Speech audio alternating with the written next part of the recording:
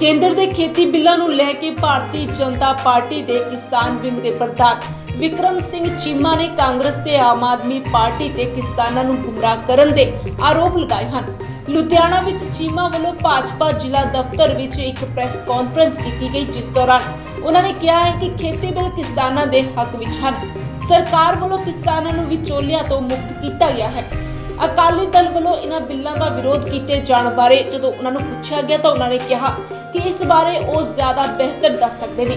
ਮੈਂ ਬਿਲਕੁਲ ਆਪਣੇ ਕਿਸਾਨ ਭਰਾਵਾਂ ਨੂੰ ਆਉਣ ਵਾਲੇ ਦਿਨਾਂ ਦੇ ਵਿੱਚ ਸਾਡਾ ਜਿਹੜਾ ਕਿਸਾਨ ਮੋਰਚਾ ਹੈ, ਉਸ ਆਰਡੀਨੈਂਸ ਨੂੰ ਪੰਜਾਬੀ ਦੇ ਵਿੱਚ ਉਲਥਮਾ ਕਰਾ ਕੇ, ਪੰਜਾਬੀ 'ਚ ਟਰਾਂਸਲੇਟ ਕਰਾ ਕੇ ਮੈਂ ਉਸੇ ਗੱਲ ਤੇ ਆਉਣ ਲੱਗਿਆ ਸੀ, ਤੁਸੀਂ ਵਿੱਚੋਂ ਪ੍ਰਸ਼ਨ ਕਰ ਲਿਆ। ਨਹੀਂ ਨਹੀਂ ਨਹੀਂ, ਕਿਸਾਨ ਨੂੰ ਕਿਹਾ ਗਿਆ ਕਿ ਤੇਰੀ ਐਮਐਸਪੀ ਖਤਮ ਕਰਤੀ। ਕਿਸਾਨ ਨੂੰ ਕਿਹਾ ਗਿਆ ਕਿ ਤੇਰਾ ਮੰਡੀਕਰਨ ਖਤਮ ਕਰਤਾ। ਇਸ ਗੱਲ ਦਾ ਜਵਾਬ ਜਿੱਥੇ ਤਿੰਨ ਵਾਰ ਖੇਤੀਬਾੜੀ ਮੰਤਰੀ ਸਾਹਿਬ ਨੇ ਆ ਕੇ ਦਿੱਤਾ। ਦੋ ਵਾਰ ਸਾਡੇ ਦੇਸ਼ ਦੇ ਪ੍ਰਧਾਨ ਮੰਤਰੀ ਸਾਹਿਬ ਨੇ ਪਿਛਲੇ ਦਿਨੀ ਲਾਈਵ ਆਪ ਆ ਕੇ ਦੱਸਿਆ ਕਿ ਐਮਐਸਪੀ ਵੀ ਜਾਰੀ ਰਹੂਗੀ, ਮੰਡੀਕਰਨ ਵੀ ਜਾਰੀ ਰਹੂਗਾ। ਕਿਸਾਨ ਨੂੰ ਇਸ ਬਿੱਲ ਦੇ ਨਾਲ ਇੱਕ ਐਕਸਟਰਾ ਪਲੇਟਫਾਰਮ ਦਿੱਤਾ ਗਿਆ ਕਿ ਉਹ ਚਾਵੇ ਤਾਂ ਆਪਣੀ ਫਸਲ ਮੰਡੀ 'ਚ ਵੇਚੇ ਚਾਵੇ ਤਾਂ ਆਪਣੀ ਫਸਲ ਮੰਡੀ ਤੋਂ ਬਾਹਰ ਵੇਚ ਸਕਦਾ। ਇਸ ਤਰ੍ਹਾਂ ਦਾ ਪ੍ਰਬੰਧ ਉਹਦੇ ਲਈ ਕਿਸਾਨ ਲਈ ਕੀਤਾ ਗਿਆ। ਇਸ ਦੇ ਨਾਲ, ਇਸ ਦੇ ਨਾਲ ਜਿਹੜੀ ਦੂਜੀ ਗੱਲ ਕਿਸਾਨ ਨੂੰ ਕਹੀ ਗਈ ਕਿ ਤੇਰੀ ਜ਼ਮੀਨ ਤੇ ਅਡਾਨੀਆਂ, ਅਬਾਨੀਆਂ ਨੇ ਕਬਜ਼ਾ ਕਰ ਲੈਣਾ ਟੋਟਲ ਵਿਰੋਧ ਦੇ ਵਿੱਚ, ਕਿਉਂਕਿ ਉਸ ਦੇ ਬਿੱਲ ਦੇ ਵਿੱਚ ਸਪਸ਼ਟ ਲਿਖਿਆ ਗਿਆ ਹੈ ਕਿ ਜੋ ਜ਼ਮੀਨ, ਜੋ ਕੋਈ ਵਪਾਰੀ ਜਾਂ ਕੋਈ ਘਰਾਨਾ ਜਾਂ ਕੋਈ ਏਜੰਸੀ ਕਿਸਾਨ ਦੇ ਨਾਲ ਆ ਕੇ ਐਗਰੀਮੈਂਟ ਕੰਟਰੈਕਟ ਕਰੂਗੀ ਉਹ ਜ਼ਮੀਨ ਦਾ ਕੰਟਰੈਕਟ ਨਹੀਂ ਹੋਊਗਾ, ਉਹ ਫਸਲ ਦੇ ਲਈ ਕੰਟਰੈਕਟ ਹੋਊਗਾ, ਜ਼ਮੀਨ ਕਿਸਾਨ ਦੀ ਕਿਸਾਨ ਦੇ ਕੋਲ ਰਹੂਗੀ। ਇਹਦੇ ਨਾਲ ਕਿੱਡਾ ਵੱਡਾ ਫਾਇਦਾ ਹੋਇਆ? ਸਾਡੇ ਉਹਨਾਂ ਐਨਆਰਆਈ ਭਰਾਵਾਂ ਨੂੰ, ਜਿਨ੍ਹਾਂ ਦੀਆਂ ਜ਼ਮੀਨਾਂ ਇੱਥੇ ਸੀ, ਉਹ ਆਪ ਬਾਹਰ ਬੈਠੇ ਸੀ ਤੇ ਉਹਨਾਂ ਦੀਆਂ ਜ਼ਮੀਨਾਂ ਦੀਆਂ ਗਰਦੌਰੀਆਂ ਆਪਣੇ ਨਾਂ ਕਰਾ ਕੇ ਉਹਨਾਂ ਦੀਆਂ ਜ਼ਮੀਨਾਂ ਤੇ ਕਬਜ਼ੇ ਹੋ ਜਾਂਦੇ ਸੀ।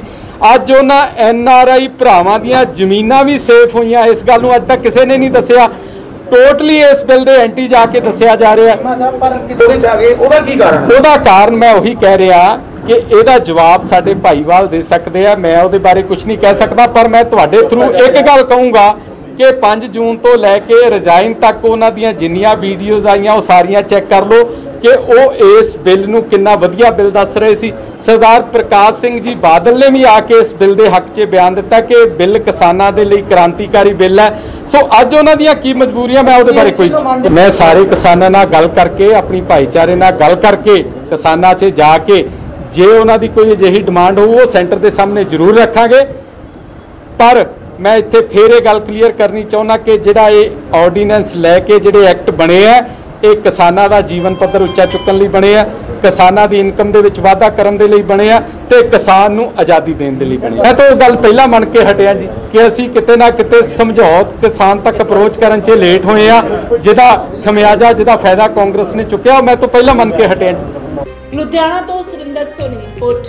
ਤੁਹਾਡੇ ਸ਼ਹਿਰ ਫਗਵਾੜਾ ਦਾ ਬੈਸਟ ਡੀਲ ਵਿਚ ਵਰਡ ਇਲੈਕਟ੍ਰੋਨਿਕ ਸਟੋਰ ਜਿੱਥੋਂ ਤੁਸੀਂ ਇੱਕੋ ਛੱਤ ਹੇਠੋਂ ਖਰੀਦ ਸਕਦੇ ਹੋ, ਜਿਵੇਂ mobile laptop computer geyser LED refrigerator AC washing machine microwave ਤੇ ਸੀਸੀਟੀਵੀ ਕੈਮਰਾਸ ਇੱਥੋਂ ਤੁਸੀਂ Samsung, Apple, MI, Realme, Vivo ਤੇ Oppo ਕੰਪਨੀ ਦੇ ਮੋਬਾਈਲ ਤੇ ਨਾਲ ਹੀ Acer, Dell, HP, Lenovo ਤੇ Apple ਕੰਪਨੀ ਦੇ ਲੈਪਟਾਪ ਲੈ ਸਕਦੇ ਹੋ।